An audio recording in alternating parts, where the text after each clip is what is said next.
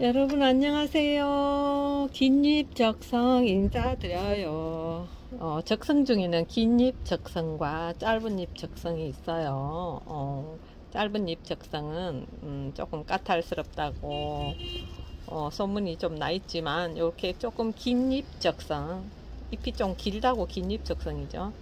얘들은 어, 어, 무난히 잘 큰다고 어, 여러분 어, 다육맘들이 그렇게 말씀하셔요. 어, 얘가 키, 키, 예, 입장이 조금 길잖아요. 어, 그러면 키가 조금 있는 아이들은 약간 높은 분에 심어주면 더 잘 어울리겠죠. 화분 선택할 때. 어, 이렇게 얼굴은 이렇게 짧은데 에, 너무 높은 분에 심으면 애들이 또 언밸런스 하잖아요. 얘들이 조금 키가 좀 있고 입장이 좀 긴 아이들은 약간 높은 분, 음, 좀 낮은 음, 좀 입장이 예, 짧으면서 키가 작은 아이들은 조금 음, 낮은 분 이렇게 맞춰주면 어느 정도 어울리는 것 같아요. 저도 그렇게 예, 키큰 아이들은 긴 분에 키 작은 아이들은 음, 좀 음, 얕은 분에 그렇게 심고 있답니다. 그래서 대부분 창들이 키가 많이 크지 않잖아요. 그래서 둥근 분이나 낮은 분에 많이 심죠. 약간 높은 분이라 밑에 마사층이 조금 더 두껍게 하고요. 이 아이들은 어, 약간 음, 좀 흙을 박하게 써야 된다고 하나 아 그래야 돼요. 얘들이 어, 영양이 많으면 많을수록 애들이 쑥쑥 키가 크겠죠. 키, 키를 어, 큰 아이가 더 크면 곤란하죠.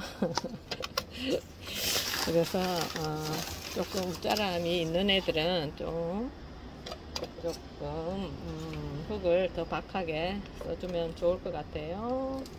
아, 여기 얼굴도 보고 화분이 앞뒤 부분이 없는 것들은 그냥 아무렇게나 해도 이쪽으로 돌, 화분을 돌리면 되니까 근데 에, 앞, 모양이 앞, 앞이라고 이렇게 표시된 화분들이 있잖아요. 그 화분들은 보고 아, 이렇게 하면 더 이 앞 모양이 더 이쁘겠구나 하는 방향을 이렇게 할까? 이렇게 할까? 이 방향이 더 이뻐 보이죠? 저는 이 방향이 더 이뻐 보여서 이걸 앞으로 정했습니다. 이렇게 맞춰서 심으면 되겠어요. 어, 화분에 따라 아, 다육이들 얼굴이 엄청 달라 보일 때가 많습니다. 옷이 날개라는 말이 우리 다육맘들 아니라 이렇게 심어둔 것도 여러분들 보시면 또 그런 말씀들 하시더라고요. 옷이 날개라고 어, 예쁜 분에 심어주면 또더 돋보이고 그런 경우가 있죠. 근데 쓰기는 그냥 일반적인 플라스틱 사각분이 제가 저는 그냥 괜찮은 것 같아요. 애들한테도. 다육이들한테도 괜찮은 것 같고 다육맘들 키우는 분들한테도 어, 무게감이 적고 가벼우니까 음, 괜찮다 싶어요 저는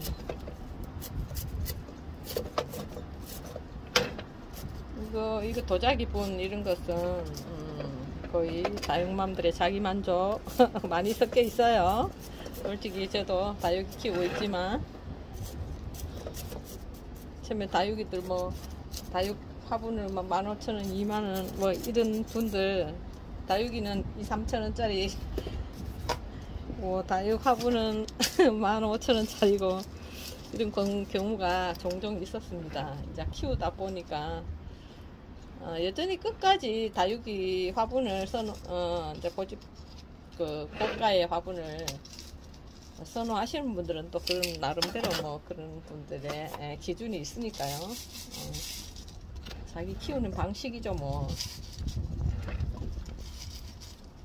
물 빠짐이 좋다거나 이런 좋으면서도 저렴한 화분 음, 그런 건 쓸만하죠. 근데 집에서 아파트에서 우리가 밖에 거리대를 걸고 바깥으로 내는 경우에는 화분이 무게감이 있으면 조금 우리들이 항상 뭐 비가 많이 오면 또 비를 피해주고 또 어, 그를 움직여야 될 경우가 있잖아요. 그럴 때는 어, 조금 무게감 있고 하면 또 화분이 크거나 하면 조금 손목 아프다. 건강 이상설까지 나올 만큼 그러니까 화분 선택도 중요한 것 같아요. 얘들은 미모를 떠나서 우리 다육맘들도 오래오래 다육이랑 음, 지내려면 건강해야죠.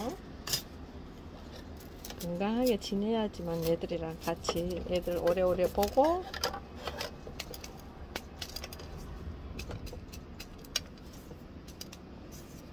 애들도 얘가 꽃대인지 자구인지 모를 애들이에요. 어째 보면은 자구 같기도 하고요. 아래쪽에도 자구가 달렸으니까요.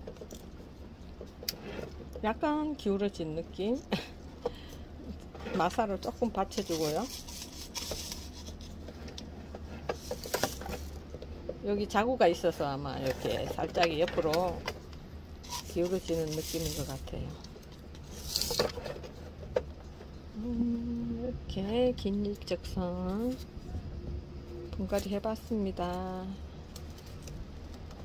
얘가 물들면 아주 어, 묵어야지 얘도 물이 빨갛게 드는 아이인데 지금은 청춘이라 초록초록합니다.